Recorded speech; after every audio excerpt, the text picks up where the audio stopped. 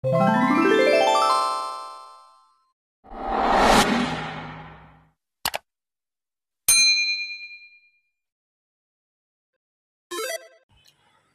semuanya, kembali lagi di channel YouTube aku Ida Far. Jadi di video hari ini aku mau share gimana caranya dapat double komisi dari Shopee Affiliate.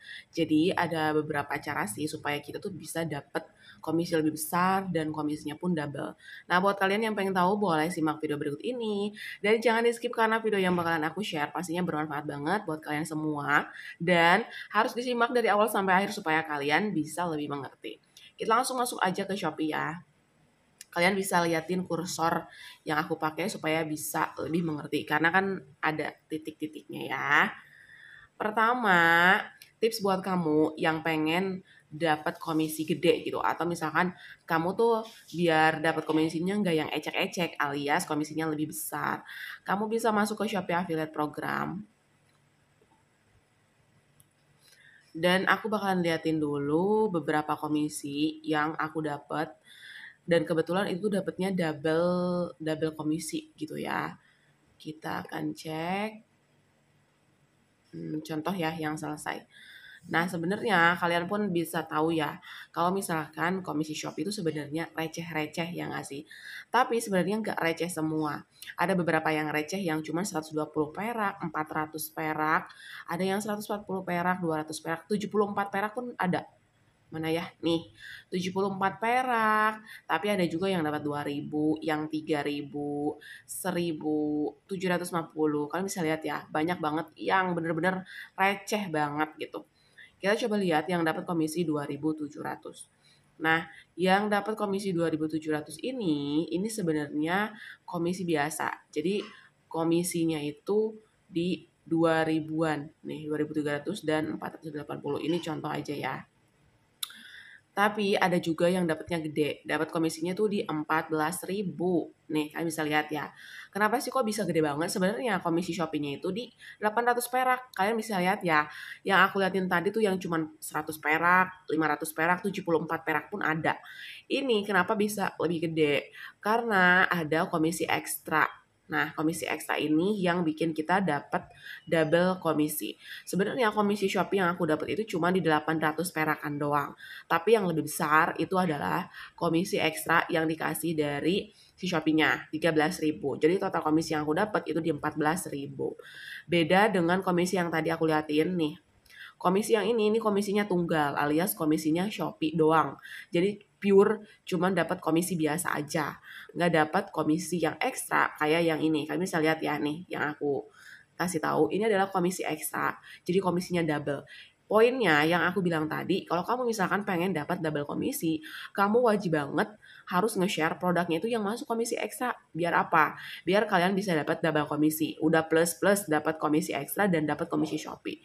Biasanya komisi ekstra memang lebih besar dibanding komisi Shopee biasa. Karena kenapa?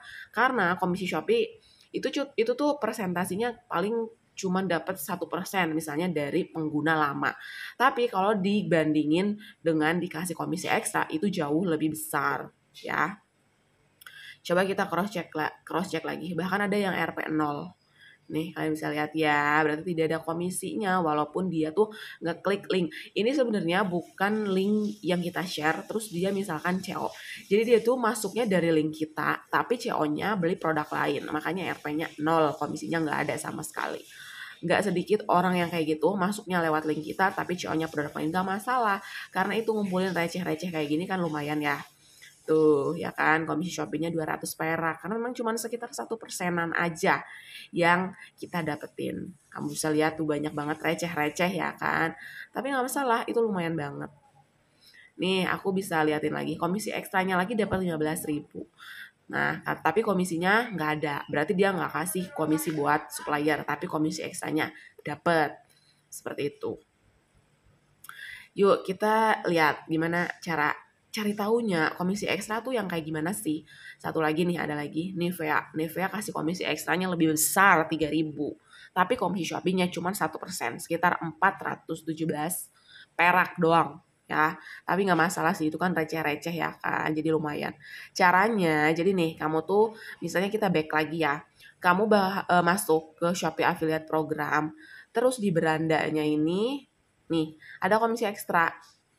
Nah, ini berarti komisi yang bakalan kalian dapat itu double. Rata-rata double kalau komisi ekstra.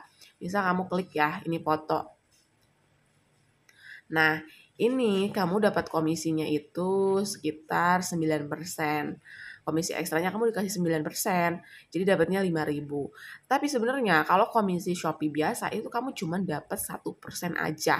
Rata-rata kayak gitu untuk pengguna lama. Untuk pengguna baru kurang lebih berapa persen ya? Di bawah 10% deh pokoknya ya. Karena aku ingat banget ada update waktu itu ya dari komisi Shopee. Cuman sedikit memang, cuman memang yang gede dari komisi ekstra. Makanya itu lumayan banget kalau kamu nge-share mau nge-share komisi ekstra tuh udah super lumayan banget deh. Next lagi. Ini contoh uh, titanium ya. Kamu dapat komisinya 9 9%. Nih, rincian. Ini sih lebih ke rincian komisi produknya ya. Ini untuk komisi ekstranya kamu dikasih 4%. Nih, komisi yang aku bilang tadi, komisi satu persen untuk membagikan produk di media sosial dan memesan dari toko berbeda. Jadi kayak yang aku bilang tadi, kamu nge-share-nya misalnya link A, tapi dia CO-nya produk B, itu kamu dapat satu persen. Jadi kayak yang tadi cuma 60 perak, 700 perak, itu berarti kurang lebih komisinya tuh satu persen. Ya, seperti itu. Tapi kan kita masih dapat kesempatan komisi ekstra. Makanya poin penting banget kamu kalau nge-share produk, kalau bisa yang komisi ekstra deh. Jadi biar lumayan gitu komisinya. Jadi kamu biar nggak kecewa juga cuma dapat recehan kayak yang tadi aku dapat cuma 74 perak gitu ya kan. Cuman 300 perak. Eh sebenarnya sih lumayan ya buat nambah-nambah. Tapi kalau misalnya kamu bener-bener niat banget buat ngumpulin komisi-komisi yang lebih jago, ya usahain minimal ada komisi ekstranya yang kamu dapat. Karena kalau komisi biasa itu kayak cuma dapat 1% sampai 2%. Itu pun yang membedakan pembeli lama dan pembeli baru. Dan rata-rata yang yang beli di shop itu rata-rata pembeli lama. Rata-rata pembeli lama. Kamu bisa lihat ya. Hmm, di mana sih lihatnya? Sorry ke performa lagi. Nah ya yang udah selesai itu rata-rata pembeli lama. Tuh pembeli lama. Ini untuk satu customer. Kita coba lihat yang ini. Pembeli lama juga ya ini coba yang 500 perak komisinya pembeli lama. Ya guys jadi rata-rata itu kemungkinan pembeli lama. Pembeli lama tuh kita cuma dapat range estimasi komisi 1 sampai 2% aja. Tapi yang ngebedain kita dapat komisi ekstranya lebih gede ya. Makanya aku prefer banget buat kamu nih yang niat banget nge-share produk shop ya affiliate usahain dia masuk komisi ekstra deh. Jadi biar kamu share link kemudian ada yang CO itu bisa lumayan banget komisi yang kamu dapat seperti itu ya info dari aku kalau misalkan kamu pengen dapat double komisi yang memang lumayan gitu ya kan untuk pencairan komisinya. Karena dari yang tadi aku share kalian bisa lihat sendiri komisinya tuh cuma berapa doang sih perak-perak perak ya kan kebanyakan. Tapi nggak masalah. Tapi kan kalau banyak yang CO kita juga dapatnya lumayan ya.